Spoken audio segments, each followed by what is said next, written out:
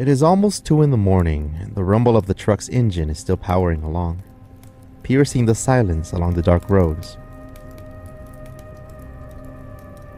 Only the yellow flickering lights along the highway remind you that you're still on the road.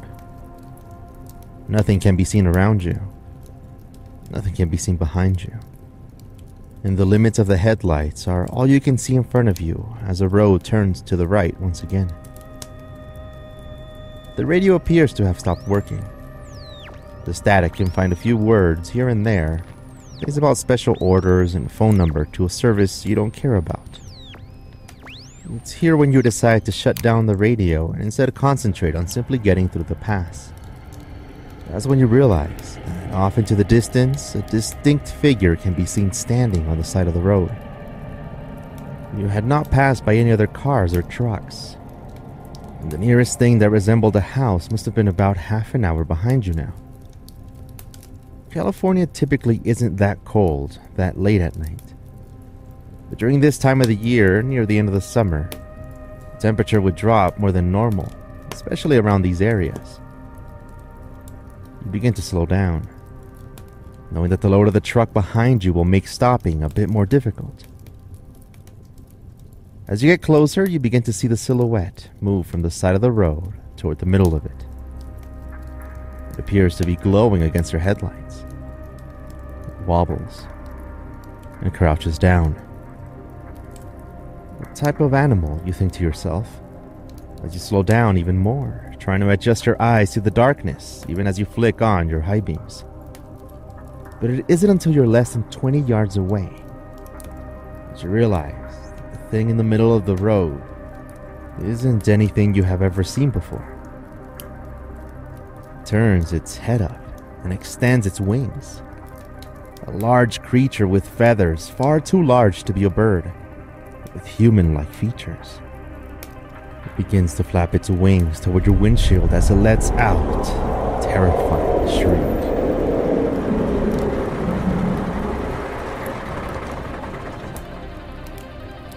Truck then comes to a complete stop as you look above you through your windshield. What did you see? You sit there for a moment before you convince yourself to look over to the left side of the truck. Convince yourself of being too tired to make sense of what you're seeing a half man, half bird creature looking right at you. The reports have mentioned it before creatures, ghosts, and the dark history behind one of the most haunted areas in California. One that is filled with death, darkness, and unexplained phenomena. Welcome to California State Route 152 through the Pacheco Pass in California. My name is Edwin, and here's a dark memory.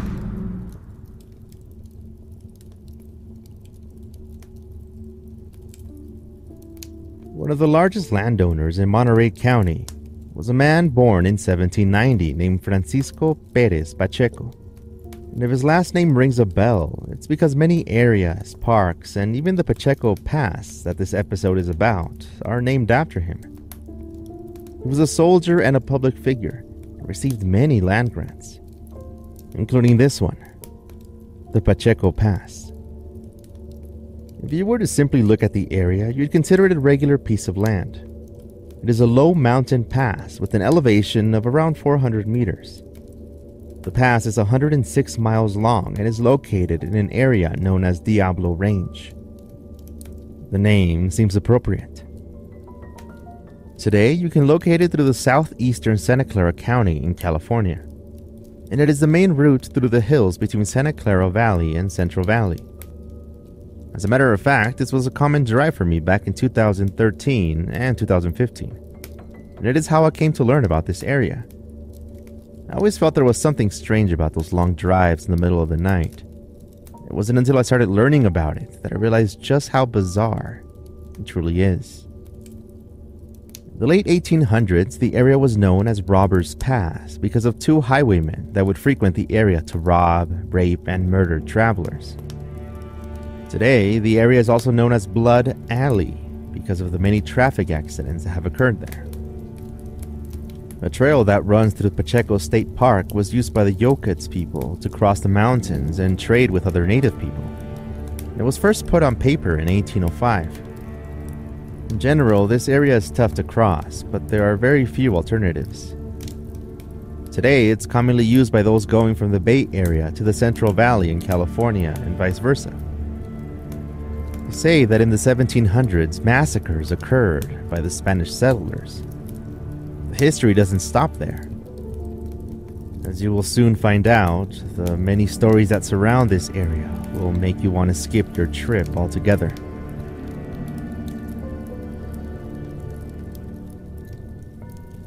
Through one of the local publications, the Gilroy Dispatch, a story of a psychic who was traveling along the Pacheco Pass stands out as an experience. You may have heard of her. Her name is Sylvia Browne. She was on the road with her husband, Dal, driving past the San Luis Dam, when she started to feel something strange. Powerful emotions began to run through her body. That's when she started to see images of what appeared to be a little girl in a covered wagon, just as a wagon train was being attacked. She could see images of battles between Spaniards, Mexican, and American settlers. She was visibly disturbed and even suffered from a panic attack. Were her images some type of memory of the terrible things that happened in the area long ago? Was she looking at the spirit world? Could be. You see, the Pacheco Pass has been flooded with reports of sightings of ghostly figures and even phantom trucks.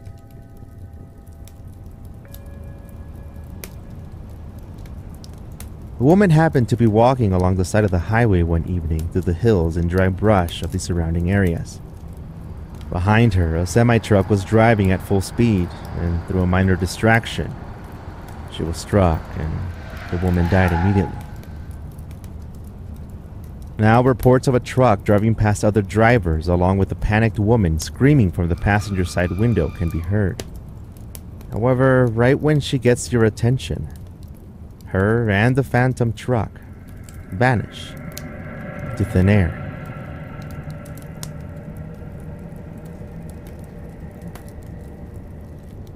As you drive through the dark two way road, you see a figure on there. A woman, dressed in Victorian clothing, roaming around and turning her head off to the sides as you approach her.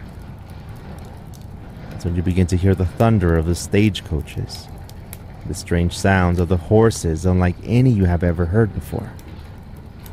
They say that this woman fits the description of the legend of the Victorian woman, the one who roams at the side of the highway forever searching for her child. Following story is more of a personal one and one that inspired, at least in part, the creation of this episode. A close family member is a truck driver and he and those that work with him used to make constant drives along the Pacheco Pass.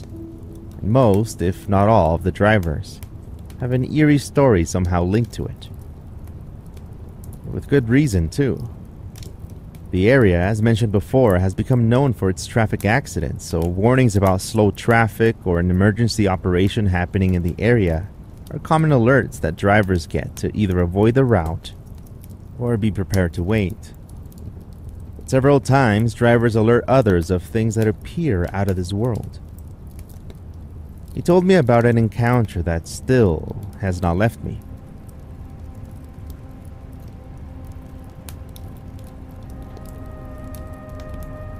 The sun was not going to come up for another couple of hours, and he was hard at work, heading up toward the Bay Area following a delivery at a Sprouts Market.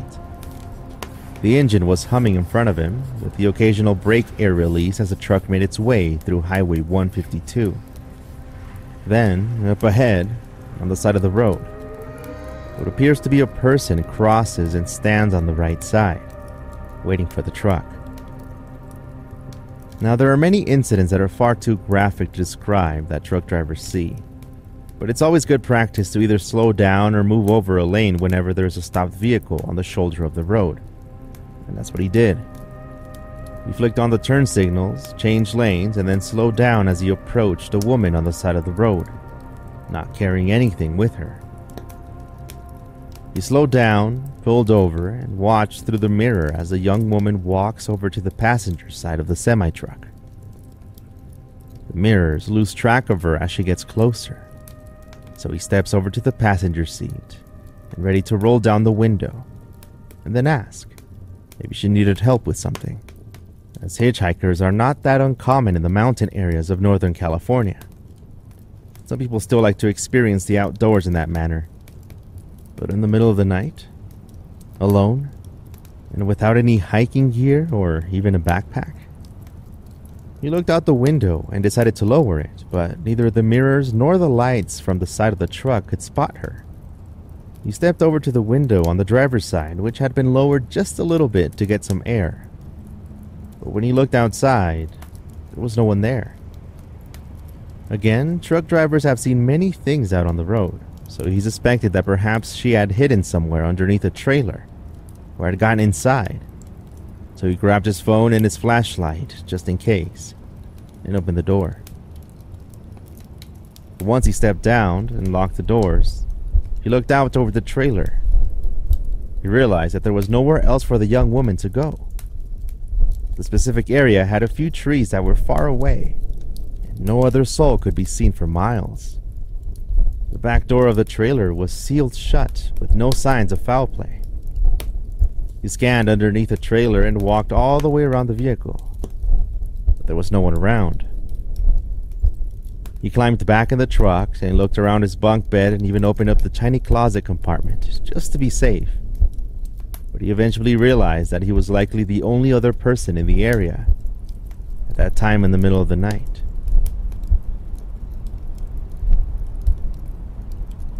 The notice he sent out to the dispatch was mixed with confusion and a bit of fear, as he admitted when he told me the story. But nothing could compare with the feeling of validation that he felt when he was asked if he was in the Pacheco Pass, which he promptly confirmed.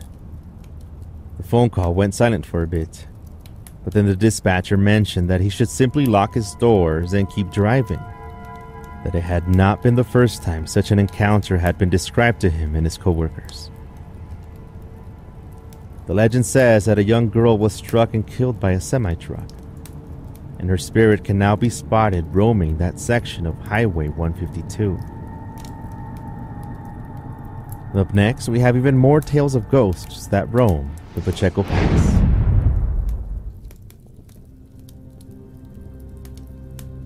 Journalist Tom Keller was driving his old car over the Pacheco Pass back in 1998 according to an article that he wrote in 2011 for the Union News for Nevada City.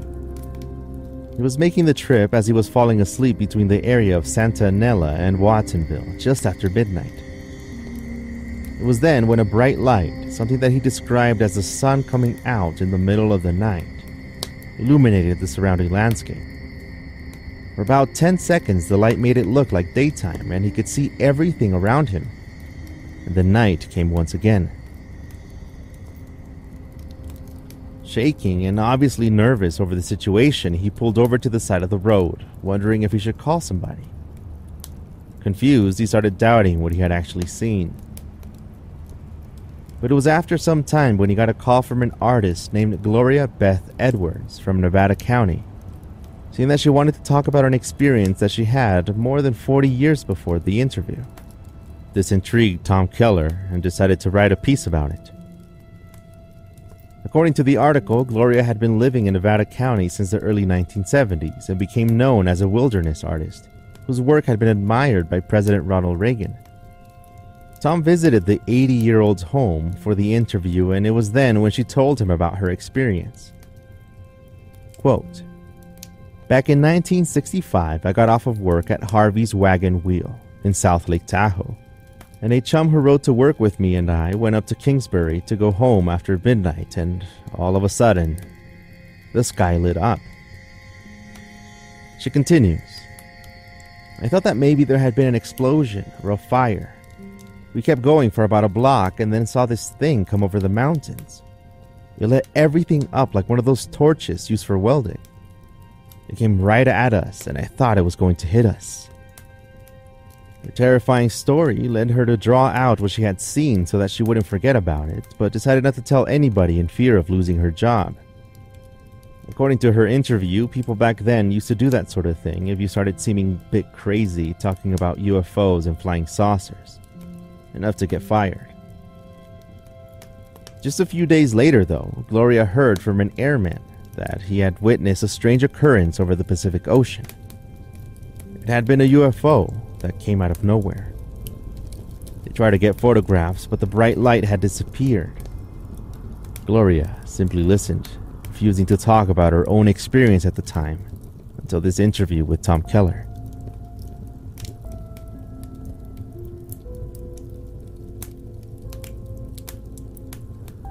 Strange lights around the area are just another odd phenomenon that the locals and those crossing the Pacheco Pass talk about. But perhaps even more strange is the phenomenon of time skipping or time warping. It is true what they say, however. The route as you cross the Pacheco Pass is scenic. The roads themselves do not seem to be the safest, at least to me. Two way roads, sometimes passing dangerously close to other vehicles in twists and turns, are not for the faint of heart. But what is strange is that many travelers have reported unexplained terrors as they drive along. And some have experienced that the many miles that it takes to cross the Pacheco Pass have only taken a few minutes. Just like the case on another episode of Barney and Betty Hill and their alien abduction, could it be possible that otherworldly entities are picking off drivers and their passengers, experimenting on them? And then returning the confused humans back to the road without any recollection of it happening?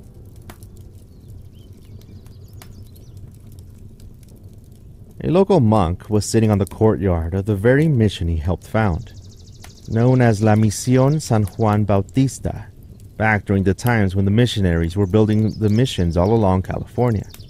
The times were strange as the state was still being inhabited by the natives of California and the relationships between the settlers had to be adjusted between them. The sun was setting after a hard day of work, and even the Native Americans who worked with the day to day tasks with the mission, with things like cleaning, cooking, taking care of the animals, and washing clothes, were all heading back to their sleeping areas. But for this monk, things were different. You see, he had fallen in love with a young girl from there, and they began meeting secretly on a hill besides Fremont's Peak, not far from the area of the Pacheco Pass. Obviously, this was against the rules, so everything had to be kept in secret. However, it did not take long for the townspeople to find out, and now the monk had to deal with the consequences of his actions. The monk was excommunicated from the church and as for the girl, she was banished from the tribe completely. Heartbroken and hopeless, the monk hurried over to their meeting spot on the hill to be together just one more time. His heart was racing with fear and excitement as he climbed up the grassy hill, the views behind him becoming clearer with every step that he took. The young girl would be waiting for him. But when he arrived, his heart stopped. The young girl was dead. He knelt beside her as his heart went cold and heavy with sadness. Two souls meeting at the wrong place and at the wrong time. His heart couldn't take it anymore, and without seeing any other purpose to his own life, he took it.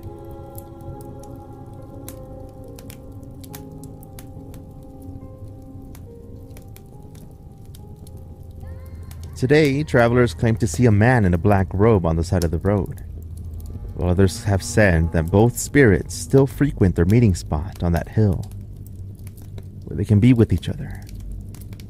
Finally, the section of the road that goes through the Pacheco Pass is a single lane highway in each direction, and crossing it at night has not fared well with sleepy drivers who are trying to get back home and have no alternatives but to go through it. Unfortunately, this has led them to cross over onto incoming traffic and meeting their untimely death in that manner. Such was the case of a man who was driving in that section of Route 152 who was in a car accident and did not make it out alive. He was about to get married, and upon learning about the tragedy, his fiancee put on the wedding dress and went to the scene of the accident. The heartbreak was too much for her to bear, and in an area after a small grove of trees where there is an outcropping of rocks, she started climbing. She climbed and climbed without a care in the world about ruining her dress and about her own life. Through tears and cries, she looked down and jumped. She died instantly. Today, in that area, reports come in every once in a while of a woman roaming around in her wedding dress, floating through the darkness.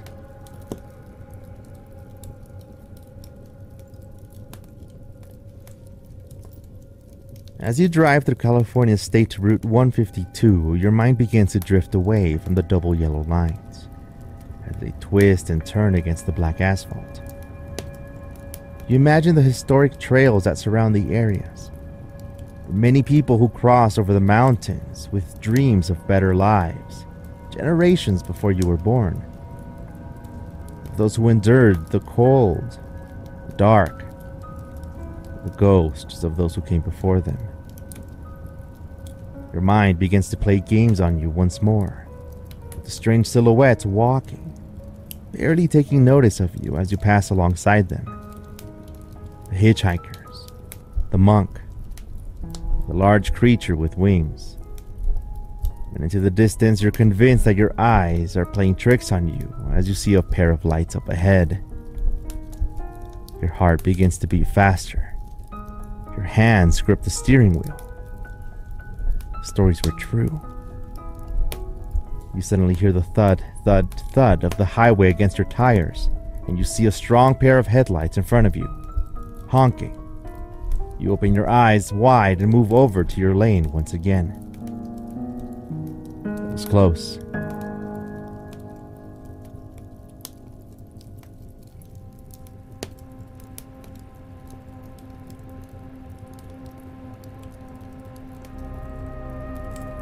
This episode of A Dark Memory was researched by Madeline Guerra and written and produced by me, Edwin Covarrubias.